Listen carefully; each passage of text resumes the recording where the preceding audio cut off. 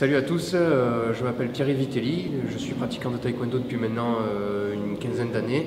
J'ai fait beaucoup de compétitions euh, techniques et combat et je fais aussi quelques démonstrations pour le côté aérien et spectaculaire. J'enseigne maintenant depuis quelques années et j'utilise les élastiques de Fit Martial Art depuis environ un an. Alors j'ai acheté les élastiques parce que je trouve que c'est un très bon vecteur de progression. déjà c'est pas traumatisant, comparé aux masses par exemple qu'on peut mettre sur le niveau des, bras ou des jambes.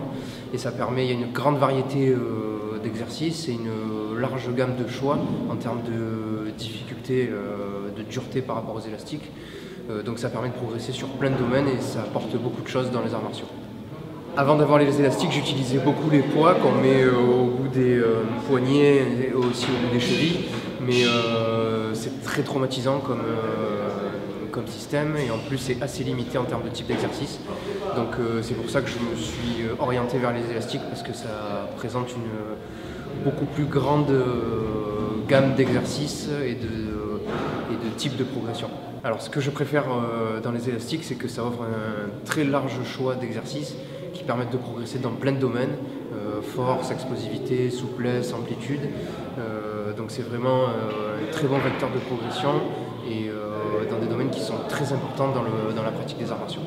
Alors c'est vraiment quelque chose qu'il faut essayer parce que euh, d'une part c'est pas traumatisant, euh, il y a plusieurs niveaux de difficulté euh, dans les élastiques, ce sont des produits de très bonne qualité. Et en plus au niveau de Fit Martial Art, il y a un groupe privé qui permet d'échanger et d'avoir un suivi un petit peu personnalisé avec des exercices en ligne et des choses comme ça qui permettent vraiment aux pratiquants de pouvoir euh, tout de suite définir le type d'exercice dont ils ont besoin par rapport à leur, euh, volonté.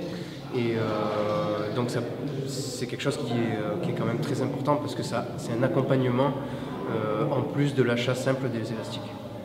moi je les utilise donc depuis un an, surtout dans le cadre de la compétition technique. Donc ça m'a permis vraiment d'améliorer mon amplitude et travailler euh, mes coups de pied techniques de manière euh, plus efficace. Et ça m'a vraiment permis de progresser sur ces aspects-là. Donc euh, c'est vraiment un très bon, un très bon outil pour se perfectionner et un très bon support pour, pour ces entraînements.